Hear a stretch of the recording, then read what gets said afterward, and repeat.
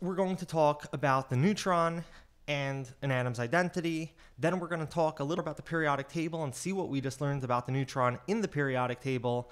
Lastly, we're going to talk about how electrons give the structure to the periodic table, and then we're going to move on. Here we are.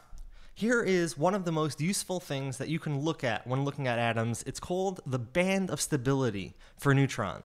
This is amazing. I've made it sound like adding or subtracting a neutron doesn't change an atom's identity. And in one way, this is completely untrue in the sense that technically if you have you could have different forms of the same atom. Those are called isotopes of the same atom. And that depends on how many neutrons are in the atom. Because if you have a gold atom that has a set amount of protons but it doesn't have a set amount of neutrons. There's a range of neutrons that it could have.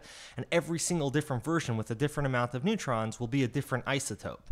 But is it unlimited? Can you just have neutrons galore no, you can't. And that's what this band of stability shows us. It shows us that the most stable form of an atom is the one that matches that black line. So the number of protons are running along the bottom, the number of neutrons along the vertical axis. What you see here is that there's no neat line of an equal amount of protons and an equal amount of neutrons to make a given atom. In fact, as you build bigger atoms, you have more and more neutrons naturally. If we look zone in on 50, so 50 protons on the bottom. If you look, the most stable form for 50 protons is roughly like 63 over there or something like that. But more neutrons than protons.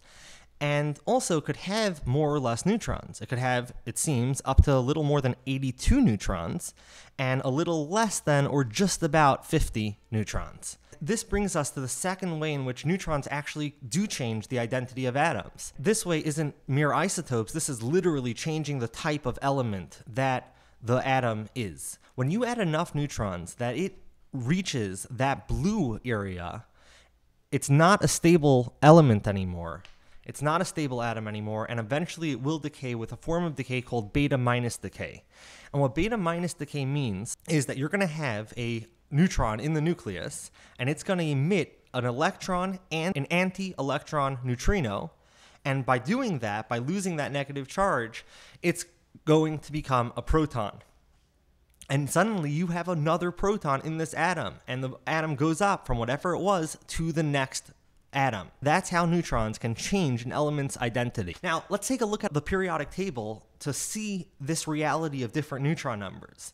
When you look at any given box on the periodic table, over here you see the atomic number in the upper left for hydrogen 1, for helium 2, for fluorine 9, for oxygen 8. But if you look at the bottom of the box, you see a larger number. So, for example, if you look at carbon, carbon has six protons, but it has 12.01 neutrons. So what does that mean? It means that usually carbon will have six neutrons, and that adds from the six protons plus six neutrons, that's 12. But what's that 0.01?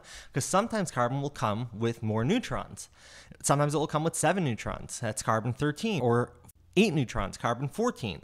And because a very, very small percentage of carbon atoms come in these higher forms, the average weight is actually 12.01. And of course, that's not to suggest that there's a partial particle over here. Now we've seen a little deeper into neutrons, how neutrons can change the identity of an atom in various ways. We still don't really know why the periodic table begins and stops where it does. We know that progressively it's getting more and more protons and changing atomic type, but why start with hydrogen and end with helium for the first row?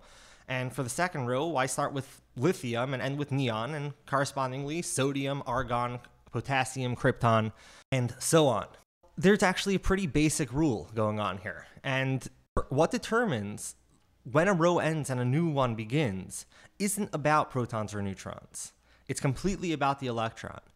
When a valence shell of an electron is full, it makes the atom unreactive.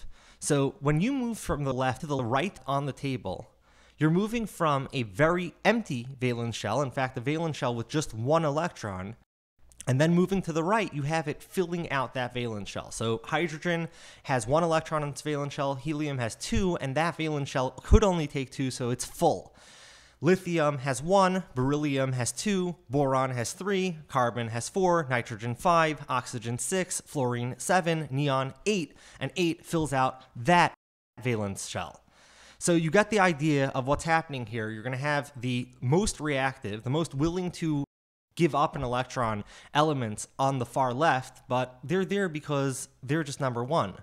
They're the first electron in that new valence shell that that row is starting.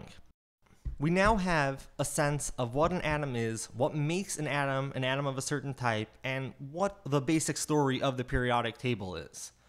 But when we think about atoms, we have protons, neutrons, and electrons, but only the electron is a fundamental particle. It's the only thing that if you cut it, you don't end up with two different particles or more than two different particles.